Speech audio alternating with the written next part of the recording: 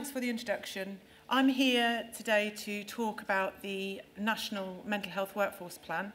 Um, I'm here on behalf of my boss Lisa Bayliss-Pratt, who's Chief Nurse for HEE e, um, and is the National SRO for Mental Health. Um, so I'll be, although I'm a London uh, Director for HEE e and the Regional Lead for Mental Health, I'm talking about the national programme today. Um, I'll just do that. I don't think this needs any introduction, I know that this is the topic um, of the day, the, the five-year forward view for mental health.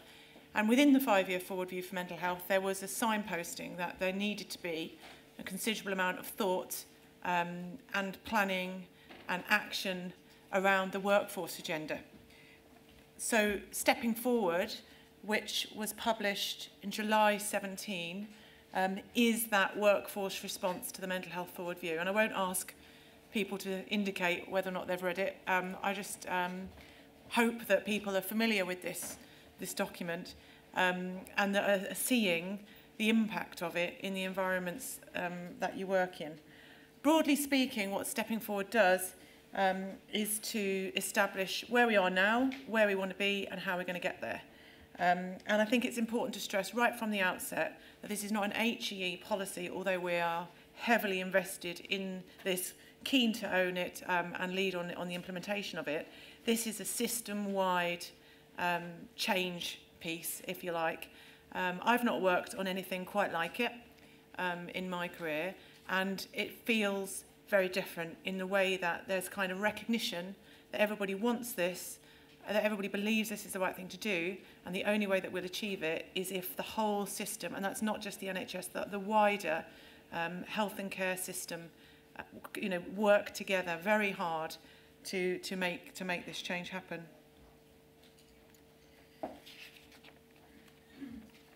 Excuse me. So the, what, if you haven't read Stepping Forward and if you haven't heard of it before or seen anything about it, I can basically sum it up in a sentence. The whole premise of the policy is that we want to see massive growth in the workforce caring for people who have mental health issues. Um, and that growth is in the region of 19 to 20,000 additional people by 2021. And the reason I say in the region of is because depending on how service models change and depending on how commissioners and service providers decide to sort of deploy their resources and, and develop their local strategies, it will change um, to some extent that number. But if you basically know that what Stepping Forward is all about is an extra 20,000 or so people in the workforce by 2021. Given the environment that we're operating in at the moment, that is an absolutely huge challenge. But as I said a moment ago, it's a challenge that the system signed up to, so all of the ALBs, providers, um, and you know STPs and all of the people who, who are influential in the system have agreed that this, this is what we want to do. Um, And as I've said already, there is recognition that this is just not NHS employed staff. So I don't want people in the audience thinking, you know, they're just looking at mental health trust, they're not thinking about the wider thing. We absolutely are. It's hard to think about the wider workforce. You know, it's not as easy to count, it's not as easy to see. It's those of us working in the NHS, it's not as easy to understand perhaps, but the, the uh, I, I hope that there are people here and um, my colleague on the panel, we were just talking about a meeting we were at together when we were uh, presenting to the voluntary sector. We are really trying to reach far and wide with this. And um, if anybody would like me to put them in touch with their regional leads or have a further conversation about how this is working, I'd be more than happy to do that. Now, I'm not going to talk through this in detail, I haven't got time, um, but the main point um, of showing you this, this is, this is uh, the main, what we describe as the waterfall diagram within the stepping forward document. Um, and this basically shows a way that we could get to this additional 20,000 growth. The green line that goes acro across the top of the graph shows how patient demand and activity is growing. So we know all the time that we're doing anything that, that the, the demand on our services is growing, and that's what that green line demonstrates. Now, I think a common um, misconception, if you like, whenever we talk about any of these types of policies, and we've got similar debates going on in primary care and urgent and emergency care and cancer and so on, is that it's all about supply. We need 20,000 more people, great. Let's have some more psychiatrists, some more, more mental health nurses, and we'll be fine. And that is just absolutely not the answer. Um, and I'll show you some figures about how the workforce is growing and how we are um, getting a lot of newly qualified people and so on into the workforce. But what this diagram does, which is quite neat, is it shows the ebb and flow, if you like, of how, of how the, the labour market is very dynamic and how things will change. So, you know, some of it is about newly established posts, absolutely some of it is. Where there's a red on the diagram, it shows people that are going to leave the workforce because, of course, between now and 2021, loads of people will leave. We're not just growing by 20,000, that's a flat number. We've got to compensate for people who are retiring, giving up, changing their lifestyles, whatever, which means they're leaving the workforce. So you'll see the ebbs and flows of that diagram. And another thing I just would um, point out from there is that there's a, a huge emphasis on retention.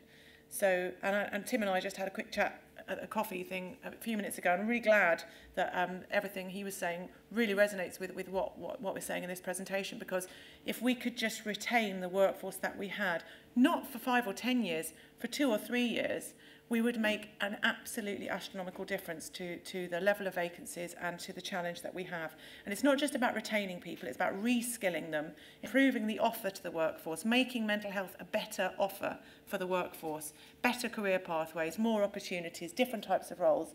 And that is such a huge part of this. And I think with any of these things, we get very hung up on supply because it's actually quite tangible. How many students are there in university? How many of them want to be psychiatrists? Great they're in the bag. And actually the harder stuff around the edge is the, is the stuff that really also makes a huge difference and we need to concentrate on.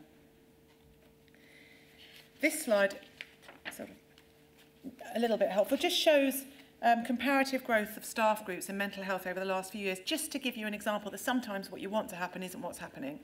Um, so in the middle, you've got psychiatrists, that grey line, The top line is clinical psychology and the bottom line is mental health nurses. Now, I'm not sure any of us would say that between the years of February 12 and August 16, that would have been what we would have planned to have happened. Certainly, with the mental health nursing, that is absolutely not what we want to have happened. Um, psychiatry, you'll see, is fairly stable. Um, some parts of the country really struggle to fill their psychiatry training programs. I was just talking um, to a colleague on the panel now about the work that the Royal College of Psychiatry are doing to encourage people to choose psychiatry and all of that's very powerful. Um, but what we've got to get to is a place whereby we've got more of a grip of this. And actually in the current um, sort of labour market and the way that education funding has reformed and so on, it's actually quite hard for us to have that grip. Um, so, so there's lots and lots of challenge um, in this agenda. So if I just go back to the focus of the programme, um, there's a huge focus on population health and public health. And actually, when we've engaged with STPs and commissioners and people who are planning strategies for their services, um, they actually have challenged stepping forward and said, we want more of an emphasis on prevention and early intervention than that. We can do better than that. You know, we want to stop people getting ill. That's part of our local strategy and that's how we want to work. So when I said the 20,000 is a sort of movable feast, that's because some STPs being really ambitious about their prevention agenda. And that would then require a smaller workforce down the line. It is very ambitious. It's not an easy thing to do. Um, but I think that the, the STP's ambitions um, are really laudable.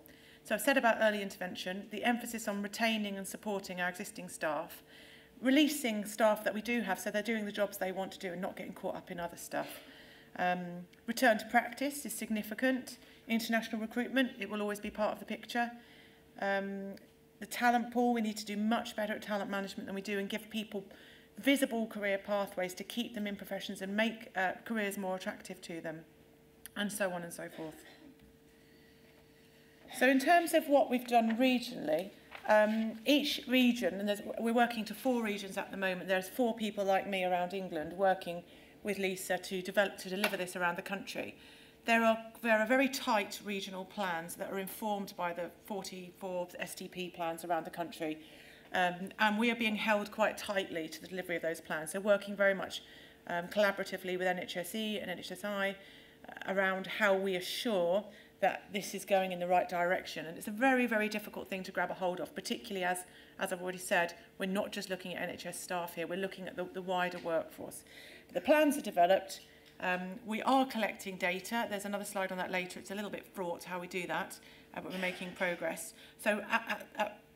present, it's fair to say that, that we're on track with that. And just to give you a little bit of information about how the regions kind of stack up, those are the, the kind of required growth targets if you chunk stepping forward up, rather bluntly it has to be said, into regional chunks. Those are the kind of targets for, for the new roles that we're looking for. Oh, sorry, I didn't do that. Um, And then in the, the, the final column, um, you've got what the STPs are currently working to. And you'll see that there's a difference in the numbers, and that's because of the differentiation in how people want to deliver the plans. Another example where you get variation is that some people would say, why would we establish 300 new posts if we've got 400 vacancies already. Let's fill our vacancies and establish 150 new posts because that's actually a more sustainable model. So there's lots of ways which locally people are in interpreting um, this keeping an eye on the time here. Um, I mentioned about supply not being the be-all and end-all, but it is useful just to give you a sense of the scale of supply into the workforce. So that slide shows you that between eight and nine and a half thousand people join the mental health workforce each year, and this is predominantly NHS because this is mental health nursing, clinical psychology, psychiatry, all of all of the recognisable mental health professions across the four regions of the country. So there are a huge number of people joining the workforce each year and there are a huge number of people leaving the workforce each year and one of the challenges about this is how we try to close that gap that graph just shows the, the, the totals by region in a slightly different way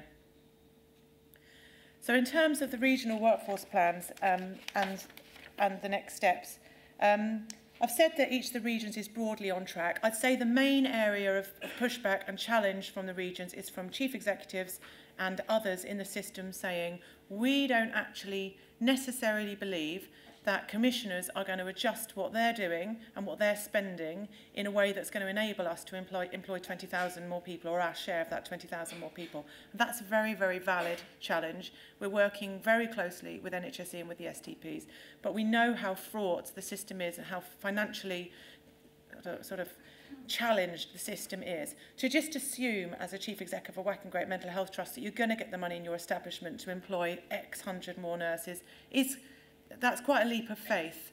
Um, so where you do get a challenge and reservation, I think it's very valid. But I think where we are is that people would say, if everything is as it's planned to be, yes, we're on track to do this, we, we can do it. Um, there's a big uh, emphasis around new roles, which I'll talk briefly about in a moment. And it's worth mentioning that um, we are engaged very heavily with the, with the development of the long-term plan, and I think we will see a lot more emphasis on some of this in the long-term plan, and certainly children and young people you know, being emphasised more strongly. But I, I don't think we'll see a dramatic step away from, from, from where we're going with this. I'm not in the inner circle there, but this is just what, what we're hearing um, on the wires. So in terms of new roles, there's a sort of big target of 8,000 people for new roles into mental health. They might be the nursing associate role, which we want to push, and we've got a lot of appetite from, from employers to push in mental health, including in, in other sectors, in social care and care homes and places like that. Peer support workers, people are very, very interested in, in expanding the number of peer support workers that we have. Um, new roles in crisis and liaison. Roles for analysts and non-clinical staff that will help the system flow better. lots of different sorts of people working in primary care, again, to help with the early intervention, the prevention agenda, physician associates and so on and so forth. So there are huge programs of work going on. And if you're interested in any of that stuff or think that you can help or want to know more, again, do get in touch with me and I will put you in touch with a person who you could have a discussion with about that.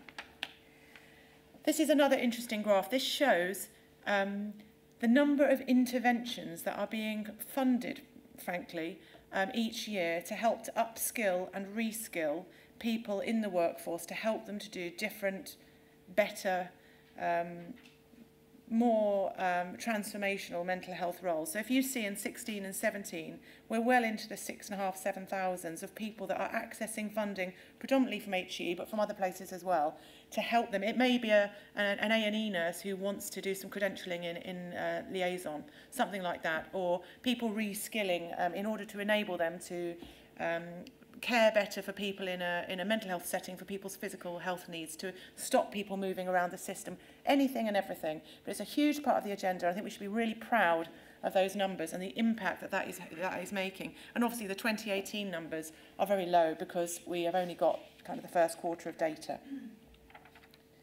So I mentioned that collating the data is a challenge. Um, we're about to publish uh, an assurance dashboard. Trying to grab data from all those non-NHS employed sectors is difficult, but we're doing it. We've done it already and we'll continue to do it.